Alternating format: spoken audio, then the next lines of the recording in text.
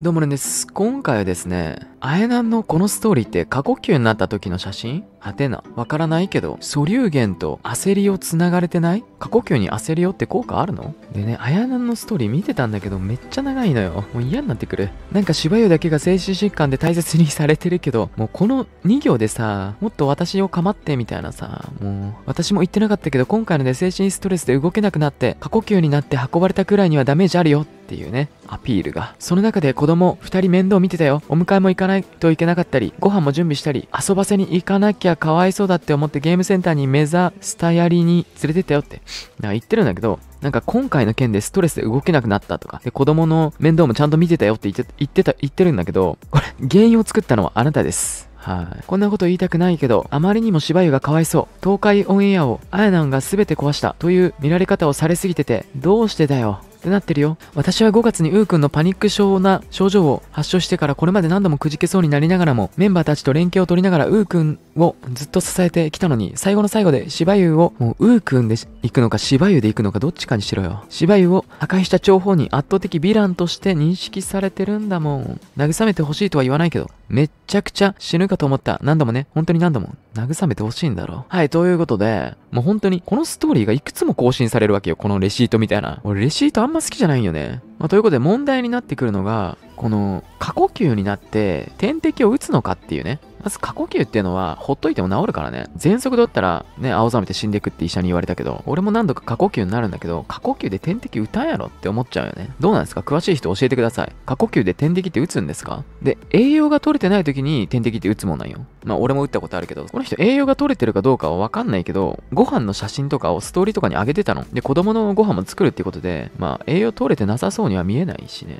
で、リプランを見ていくと、看護師です。アセリオは解熱や鎮痛に使うので、いつぞやの風邪かなんかの時の写真を使ったんだねって一瞬で分かりましたと。っていう専門家が言ってますね。で、この投稿者さんも自分1年ちょっとで看護師辞めてもう半年くらい経つし、オペ室配属すごいじゃん。焦りよって、解熱鎮痛以外の目的で使うのか勉強不足かと思ったけど、やはり過呼吸では使いませんねと。まあそういうことが問題になっているようですね。病棟でもアセリオはよく使用しますが、過呼吸で使うのは見たことないですね。過去に熱が出て大変な時もあったよということで、まあ副作用みたいなのもあるということでね、このアセリオは。ということで昔の画像を引っ張ってきたんだなってすぐ思いました。過呼吸以外に発熱や脱水症状もあったと記載があれば使ってるのも納得なんですが、と。まあ、つまり、あやなんが、ストーリーで、過呼吸になったんだよ、私、あなたたちのせいで、と。私も大変な思いしてるんだよ、と。私ばっか責めないでよ、と。点滴までしてるんだよ、過呼吸で。そしてあなたたち、レンのツイッター少しはフォローしなさいよ、って言ってるんですが、なんか焦りは解熱鎮痛に効くんで、風邪の時に使ったんじゃないかと。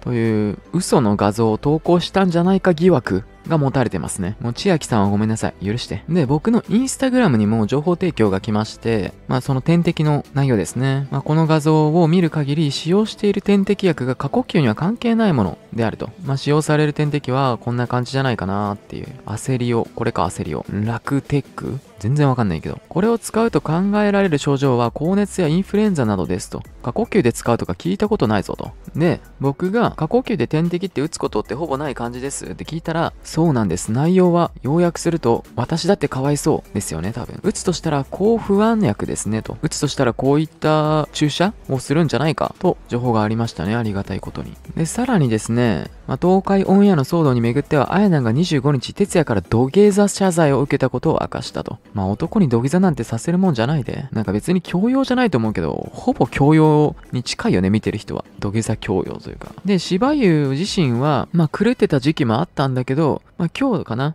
哲也ともツーショットを投稿してたような気がするし、りょうともツーショット写真公開してるし、まあ、東海オンエアのメンバーとは芝居はだんだん徐々に仲直りし始めてます。まあ、こうやってね、東海オンエアの記事がふわーってありますね。はい、ということで今回はですね、あやなんが過呼吸になったのは事実かもしれないんですけど、こうやってストーリーに上げてる写真が過呼吸とは関係ない焦りよというね、やつをってないという。まあ、つまり、これ今の写真じゃなくて昔の写真引っ張ってきた？なんか視聴者に嘘ついてる？というような内容でした。まあネットリテラシーが低いとか散々言われてますからね。まあご自身もね、これがもし本当に嘘だって分かってて投稿したとしても、炎上するんで美味しいんじゃないですか？なんか炎上商法としてはプロだと思います。うん。ただ、あんまりやりすぎると、本当にめちゃくちゃ嫌われるし、もうすでに嫌われてるし、アカウントにも通報入っちゃうし、YouTube のね、インスタとか SNS とか全部に通報入っちゃうし、あんまやりすぎると赤番も考えられるから、もうここら辺でやめといた方がいいんじゃないかなっていうのに、ずっと続いてるじゃないですか。だからもう、炎上商法とかじゃなくてもうこれ、パーソナリティな部分なんじゃないかなと思いました。本当に性格の問題なんじゃないかなと思いました。だからこれ、治んないんじゃないかなということで、最後までご視聴いただきありがとうございました。皆さんが思ったことをコメント欄でお願いいたします。で、X、Twitter もやっておりますので、よかったらフォローお願いします。フォローはしてます。それでは、またお会いしましょう。See you next time.